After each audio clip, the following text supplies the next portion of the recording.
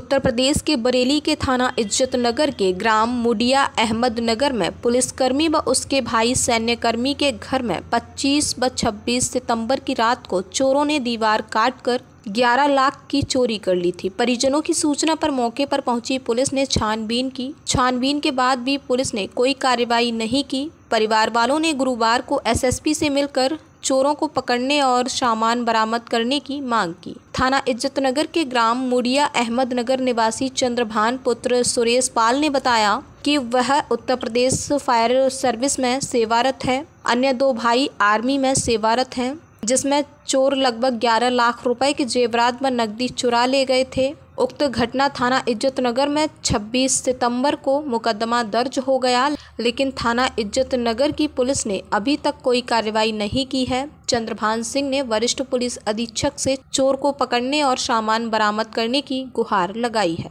चंद्रभान सिंह। शर्मा जी कैसे कितनी चोरी हो गई और कब चोरी हुई थी सर ये हमारे यहाँ पे 25 सितंबर को चोरी हुई थी। एफआईआर तो दर्ज हो गई लेकिन अभी तक तो कोई कार्रवाई नज़र नहीं आ रही। किस तरह से चोरों ने चोरी करी थी? दीवार काटी गई है, एक दीवार जो मेन दीवार थी वो काटी गई, फिर इसका घर में एंट्री करी। फिर एक दीवार जो कमरे की थी मेन दीवार, जिसे सामान चोरी हुआ इस कमरे से, वो दीवार काटी गई।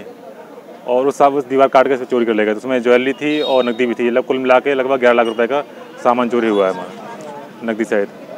उसके बाद एफ़ आई आर दर्ज हो गई, लेकिन उसमें कोई कार्रवाई नहीं करी जा रही। है जा रहा है कि वहाँ का जो डेड, मोबाइल जहाँ एक्टिव थे वो अगर डाटा लेंगे डाटा भी लिया गया है। सो टीम का भी कुछ वो भी कुछ नहीं हुआ है। मतलब लिखा पढ़ी में चार चल रही कार्रवाई लेकिन जमीनी स्तर पर हमें कुछ नज़र नहीं आ रही कि काम हो भी रहा कुछ। परिवार की सब बाहर थे क्या? जी। परिवार वाले सब बाहर थे? नहीं परिवार वाले सब सो रहे थे। दो भी मतलब हम तीन भाई हैं चार भाई। तीन भाई फोर्स में हैं या पुलिस में हैं दो भाई आर्मी में हैं। बड़े वाले अस्पताल में मैनेजर हैं। तो रात में आते हैं लोग नौ, नौ, नौ के आसपास और बीवी बच्चे रहते हैं घर पे तो जब चोरी हुई तो सो रहे थे वो। लगभग उनकी आँख दो बजे खुली थी। तो देखा कि घर में लाइट सब बुझी पड़ी हैं। लाइट सारी ऑफ़ थी देखा तो फिर अंदर गए कमरे में तो सारा वो दीवार कटी हुई थी।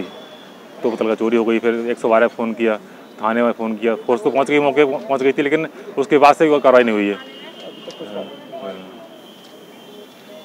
तो ये सर हम कप्तान से करने आए हैं। सर खुद एक मैं सिपाही हूँ। जी।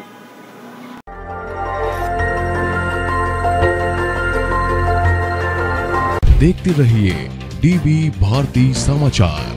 नज़र हर खबर पर।